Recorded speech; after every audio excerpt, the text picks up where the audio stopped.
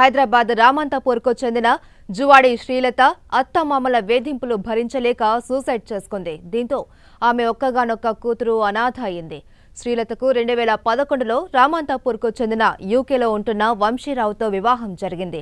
పెళ్ళి అనంతరం శ్రీలతను కూడా యూకే తీసుకెళ్ళారు. కొన్ని రోజుల తర్వాత అత్తామామలు అదనపు కట్నం కోసం వేధించడం మొదలుపెట్టారు.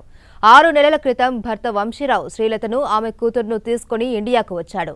ఇద్దరిని హైదరాబాద్లోనే వదిలి వెళ్ళాడు దీంతో మనస్తాపం చెందిన శ్రీలత ముంబైలో ఆత్మహత్య చేసుకుంది. రాత్రి ఆమె మృతదేహాన్ని హైదరాబాద్కు తీసుకువచ్చారు. అత్తగారు అనగానే కోడలను వేధించడమే అనే ఒక ఉద్దేశంతో అందరూ లేరు. ఏ కొద్ది మంది? ఓ వందల వన్ టూ పర్సెంట్. ఈ వన్ టూ పర్సెంటే ఈ సమాజాన్ని ప్రభావితం చేస్తూ ఉన్నది. కానీ ఇక్కడ మేము కోరుకున్నది ఏంటంటే చట్టపరంగా వాళ్ళకు శిక్షను డిమాండ్ చేస్తూ సమాజపరంగా కూడా వీళ్ళను ఈ గల్లీ ఉంది. ఊరైతే ఊర్లోనే వాళ్ళను దూరం పెట్టే పరిస్థితి ఉంటుంది. వీళ్ళు చెడ్డోళ్ళు అన్నట్టు. ఈ గల్లీలో కూడా వాళ్ళను రేపు పొద్దుగల వాళ్ళు ముఖమెత్తుకొని తిరగలేని పరిస్థితి.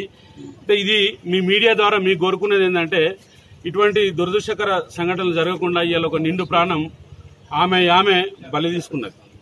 ఇదేందో కాదు ఈ మన సమాజంలో జరుగుతున్నటువంటి ఇలాంటి తప్పుడు పనులకు ఇది ఒక నిదర్శనం. దయచేసి మీ మీడియా ద్వారా కోరుకుంటున్నాం.